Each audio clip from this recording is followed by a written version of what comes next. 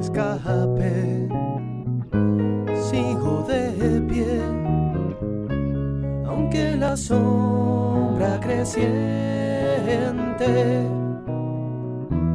mi condición de sembrador me da la fuerza para entenderte.